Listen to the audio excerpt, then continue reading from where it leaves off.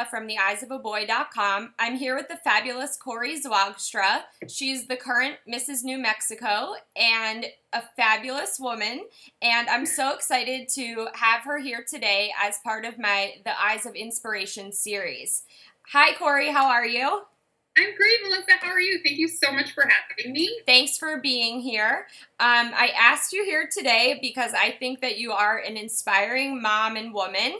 And um, can you tell us a little bit about yourself and how you became a mom? So, I basically am a full time stay at home mom. My husband Jake and I have two sons. My son Zane is six and just finished his first year of kindergarten. And then my, my son Gage is four. So um, we live in a kind of small town in southeastern New Mexico. And really, my focus since the boys have been born has been, uh, you know, a uh, hands-on full-time mom. My journey to motherhood was honestly pretty easy. We didn't, thank God, have any of the struggles with infertility or miscarriages or anything like that that so many moms go through. So we kind of decided, like, we want to start our family. Uh, we went on one big last hurrah trip. We actually went to Africa for three weeks. Awesome. And yeah, it was amazing. And then came home, like two months of trying, and I got pregnant. So it was really actually very easy. I had, you know, very simple pregnancies. So I was really blessed in that way. It sounds awesome. That yeah. that was easy. So you speak openly about your struggle with postpartum depression. Um, and when when did that happen? Um, after the birth of your second son, right? Yes. Um, I think with hindsight now, after the birth of my first son, I think I had a pretty heavy case of the baby blues. And there is a very distinct difference between. I was going to say, how do you know the difference? So I think so. The the difference um, between true postpartum depression and the baby blues, which most women experience, is um, the duration of the sort of depression period and how long it's happening and is it happening on a daily basis. So the baby blues typically happens, you know, just as soon as you give birth. And it is, it's a very emotional time. You're going through a big hormone dip and up and down. And, um, but if it lasts getting into three weeks, if it's going on every day, when you're having feelings of just deep sorrow, when you're uncontrollably crying.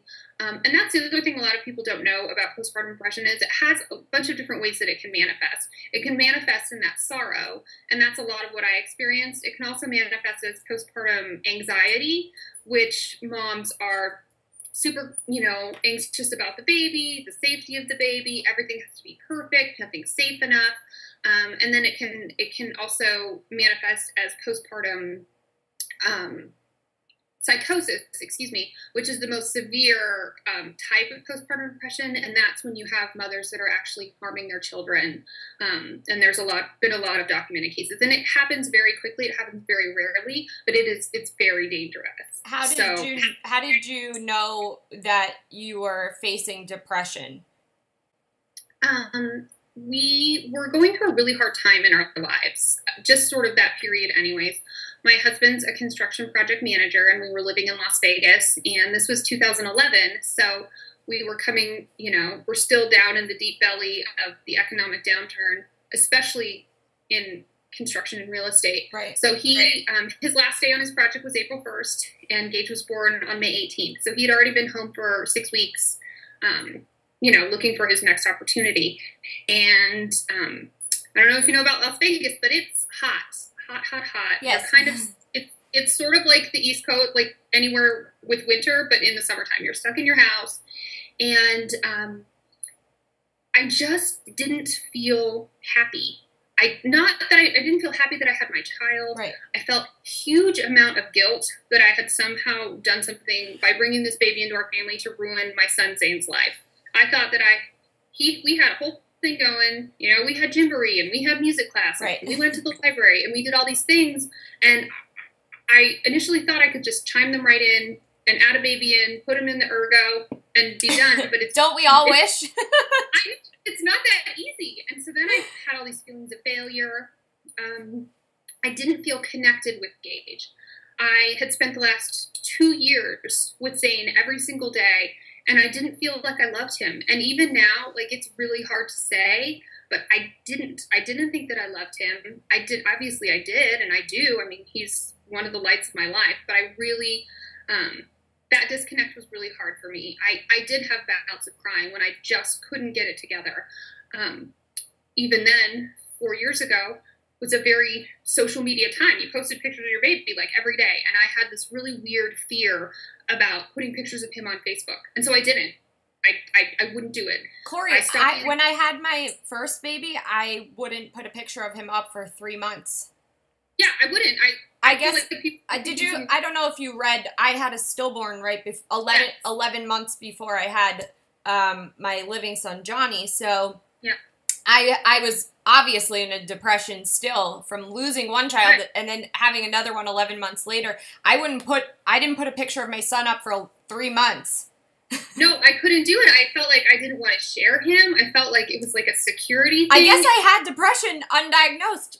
Good to know. You may have no, and that's the thing. Like one in five women get it. One in five women have postpartum depression. Like like textbook needs treatment depression, and a lot of people it just you don't recognize it. But so I was really worried about that. And as time went on, you know, Gage is three weeks old, a month old, five weeks old.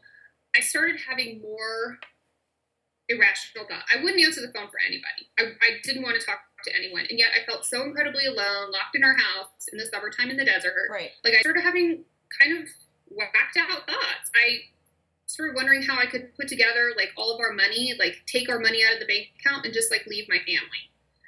And those are that's not normal. I have a very good friend whose sister had postpartum depression.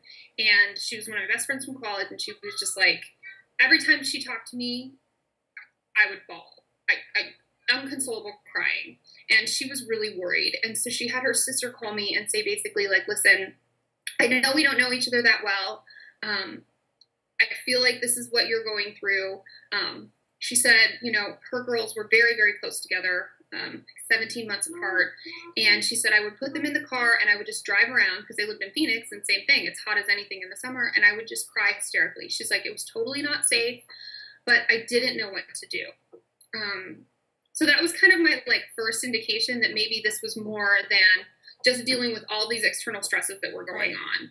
And um, I spoke to my husband and he's like, no, you have, you're not my wife. Like, I don't know what has happened to you. I had a real breakdown when my mom left.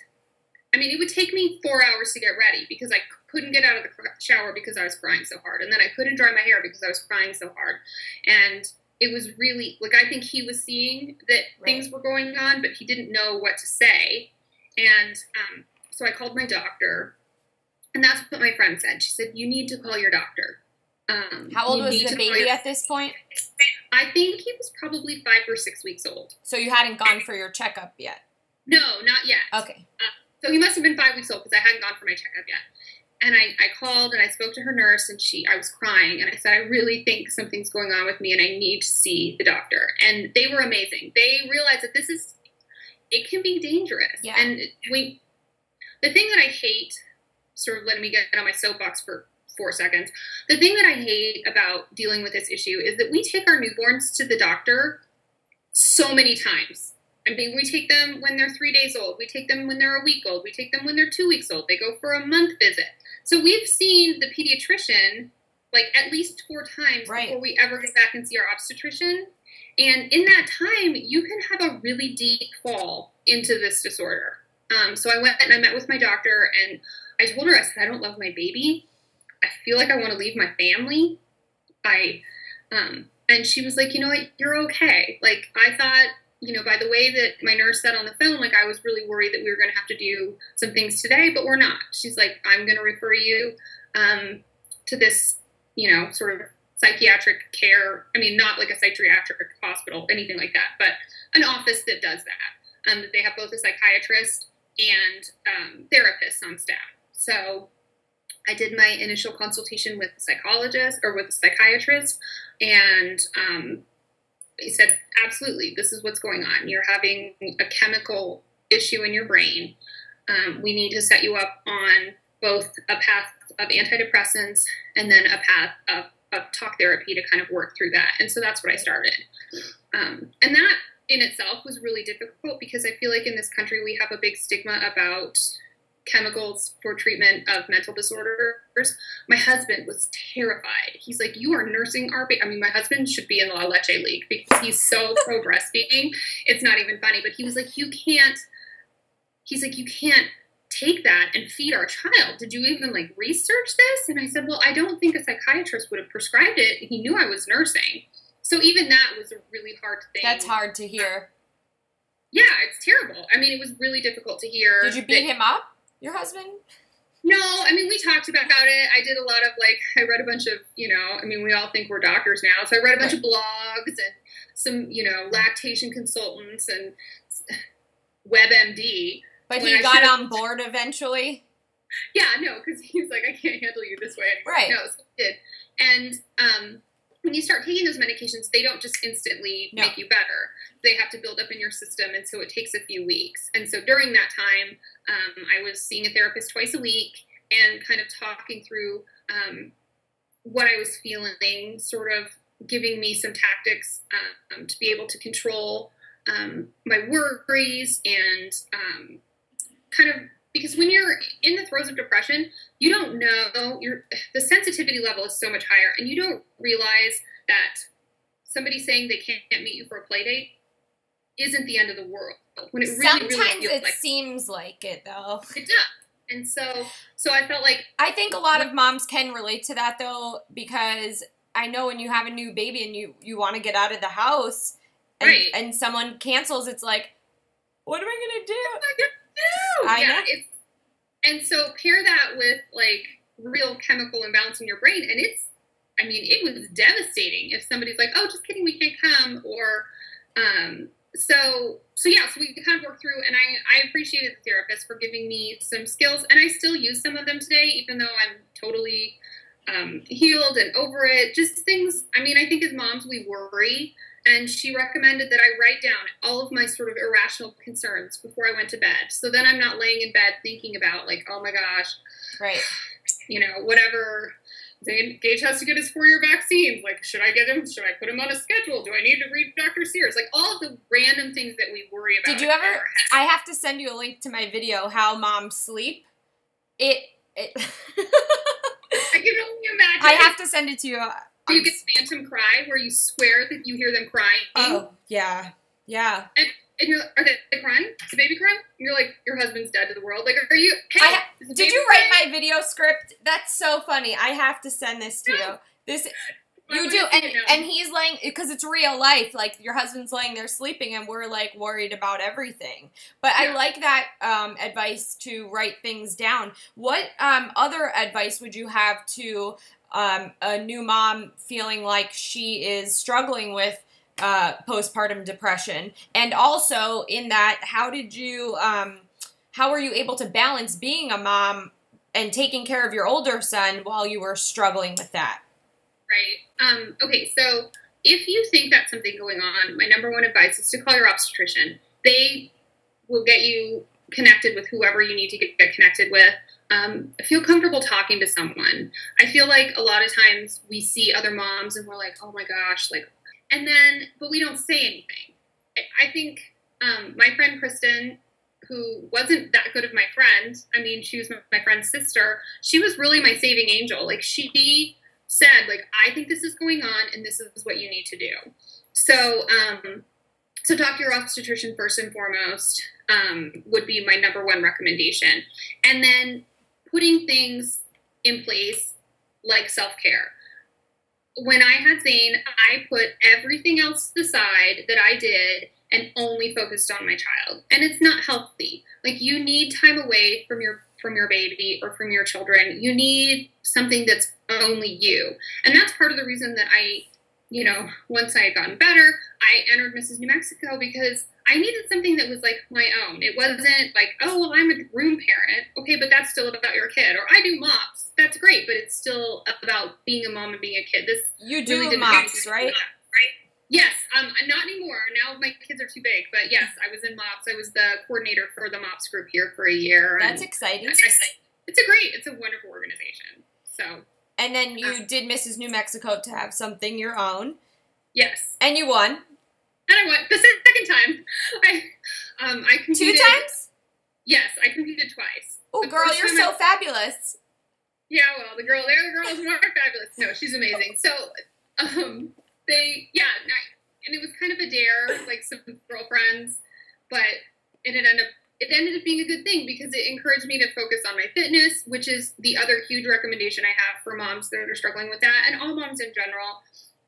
When you're dealing with depression and you exercise, you increase your um, endorphins, and it really does make you feel better. And even now, if I don't get my exercise in, um, I'm a little testier with the kids. I'm a little shorter with my patients. Like you really, it really is beneficial. So that's what I did. I worked through talk therapy. I um, was on antidepressants for about a year and then phased off of those and then increased my exercise because for that, um, was like 50 pounds heavier. I was not super healthy and I was kind of uh, miserable. So now sort of full circle brought it around to it, those things. It does help. Exercise was my saving grace after I had my second son also um, 13 and a half months after my first son so i had three boys obviously one not right. living in 25 months um, and then i ended up losing almost 100 pounds thanks to the gym um, in nine months uh, that was the only thing that kept me sane was working out um, yeah.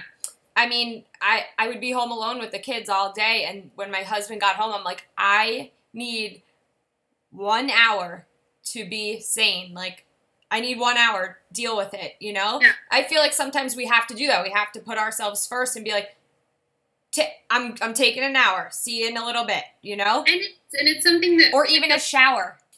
Right, yeah. Sometimes it's just a matter of a shower. Yeah. Which, but it is, you have to put those things in place because you, I don't want to wake up when my sons are graduating from high school and be like, who am I? What am I supposed to do now? Like, yeah. oh, I can't be, you know, the room mom or the driving people to practice or making snacks. Like, what else do I have left? Although those things are, you know, they're those are so fulfilling as a mom, but it is nice to re- retain some of your identity of who you were before becoming a mom.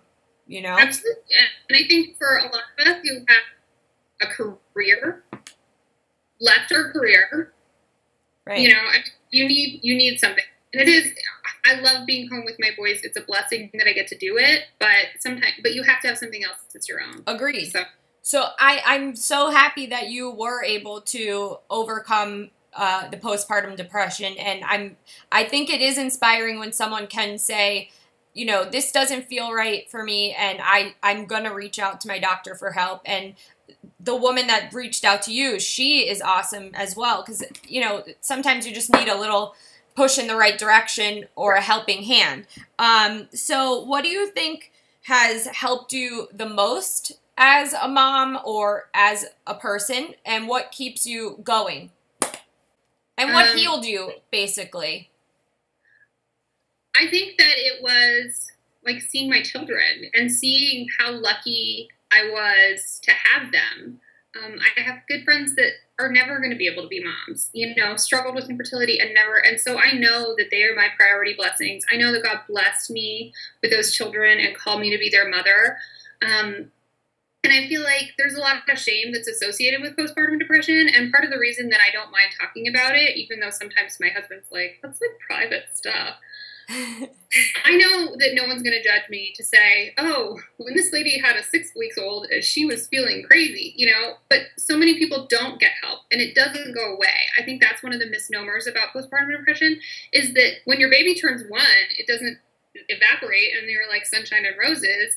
It can turn into like full blown um, permanent depression. And if it's wow. not treated, then what kind of mom are you being? You know, then you can't get out of bed, then you're not being a good mom for your family. So um, I think for me, part of sharing my story, I actually shared my story the first time with my MOPS group, and it kind of inspired me to share it more. Is that I got emails from ladies that were like, no, like I, you know, I considered committing suicide. I considered, um, I did leave my family. Um, and so for you to say, and I think, I think when you put the crown aspect into it, I feel like if you were just to look at me and you see me with a crown on and it's all fancy pants, that you would. It's kind of a nice end point to that story to say that I went from who couldn't leave my house, you know, to being able to stand on a stage and talk about this experience. Um, I just got goosebumps, Kori. I got goosebumps. that you know that it doesn't have to be a place you're stuck. It can be it can be a dot on your story, but it doesn't have to be a place that you're stuck. And I really feel like too. I um, you know I'm a Christian, and when I look back at that period of time, um, I see God's protection over it. Like it really sucked that my husband did not have a job for six months. Like it was God protecting us because like what would have happened if I was home with by myself every day with the kids? I mean, he, he was there to help out, and I don't know what would have happened. Like I I can't say that something bad would have happened, but I don't know that. Like I feel like him being there was a protective thing, and then um, you know, and then we moved to we moved to New Mexico shortly after. Um, while I was still I was kind of phasing down my talk therapy, but I was still on medication. And like Las Vegas is kind of a very, you know, keeping up with the Joneses kind of place. And it was kind of nice. I, feel like it was a good part of that healing too to come to a place that was smaller and um, the people in my town are super warm and welcoming. And so it was easy to establish good friendships quickly. Whereas even though I've lived in Las Vegas for nine years, like I don't know if I mean, I had some good mom friends, but the network here has been really strong. So I feel like that's a blessing too. And that's the other thing. I think that when um, when you're talking about postpartum depression, it's not necessarily um, the actuality of not having support, but it's the mom's perception of not having support right. that really is a key factor. Um, I know we didn't talk about it really quickly, but some of the factors that are um, predispositions, or as if you've had a history of mental illness in the past, um, which I hadn't, if you have kind of a type A personality, which I do. We can't tell that. no, um, and then um, some of the in- other indications are a, a stressful time. So if you've had trouble in your relationship during your pregnancy, or if you have financial concerns, like obviously my husband was out of work for six months. So all of those things kind of pile on, and you add that with hormones, and it just kind of right. So you're cognizant of that now, and um, I haven't just like we haven't decided if we want to expand our family or not. Like my husband and I both feel like maybe our family isn't complete, but in the back of my mind, I have that time, and your risk for postpartum goes up every time you have a subsequent pregnancy. So it makes me nervous. Like, I don't think I could put my family through that again. And so I wonder what if the risks kind of weigh the blessing of, you know, so it's, so that's another thing. And then also, how fast, how much time you have in between your pregnancies is a factor. So the closer your pregnancies are, the higher your risk is. Um, to develop postpartum. So my boys were 26 months apart. Right. And now your son is four? for. Yeah. So maybe you would be okay. I maybe you guys are a beautiful family. It would be nice for a third. I'm on that page of like, okay, I'm back to normal too. Like, right? Oh my god, a third baby. What? But it's scary to think to throw the balance off of your own brain, your own family. Um, but what do you think you would do differently uh, if you were to have another child? I think that my perception of support would be different. Um, I think that I would be a little bit more confident in having like a higher expectation of help my husband. I just wanted to be that super mom that did everything, that had dinner on the table, the house was clean, the kids were like happy and learning Greek or doing whatever. Like I wanted it to be like amazing. And that's not reality. Like it's and so I feel like my husband and I have grown in our marriage since then. Like we'll celebrate our 10 year anniversary in August and like it's okay for me to be like, okay, I made dinner, like get the dishes. Um, so I think my perception of support would be different. I think my knowledge of indicators would be different. And then I would talk with my OB and say, listen, I have this history and um, we need to, we need to, there are some things that they can do preventative wise um, leading up to giving birth to kind of quell those um, hormone spikes. So there's like both, you know, the psychological and then the medical that they can balance. So I don't know. We'll see. Well, also, I don't know. I'm kind of old. I'm 36, so I feel like maybe that's like too old to have another baby. I first of all, you do not look old. So I think that the tips that you've shared for other moms are super helpful, and your story is very inspiring because it would be so easy to, um, you know, fall into a depression and and not admit to yourself or other people that you're struggling um, and you know to look at you as a beautiful woman and someone who ha- you know is Mrs. New Mexico. So, but to look at you as someone who is on stage as a beautiful woman, you know, wearing a crown, you would, you know, a lot of people would not assume that you've struggled uh, the way that you have. And so, sharing your story definitely is beneficial to other women who may be going through this. And it's inspirational to see that you want to share your story with everyone because you're real, you know? Yeah. it's easy to look at someone and say she's got it all together. She's super mom and you're letting us know it's okay to not have it all together sometimes. Absolutely because i don't think that any of us do and i feel like sometimes when you fight so hard to like have it appear that everything's perfect it only makes it more difficult like in reality to keep that front going. But no i think when you attempt to put up the facade that everything is perfect it's because i feel like i did try to do that and it only made it like you were like that duck and your head is up here and you're like hey, everything right. is awesome. And then like underneath you're like barely keeping your head above water. Right. so, Kori, thank you so much for being with me here today and sharing your inspirational story. Um, I've really enjoyed learning from you and listening to you, and I really do think that it is awesome that you're sharing this uh, struggle with everyone, and you'll probably help another mom that is out there that's going through the same thing. So it was super nice to meet you. I appreciate everything and hope that you have a great afternoon. You too, Melissa. It was so great to meet you. Bye. Thanks for having me. Bye.